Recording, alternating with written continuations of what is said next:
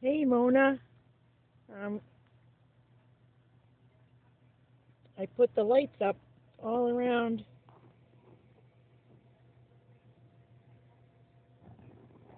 My cabinet, and they fit perfectly all the way around.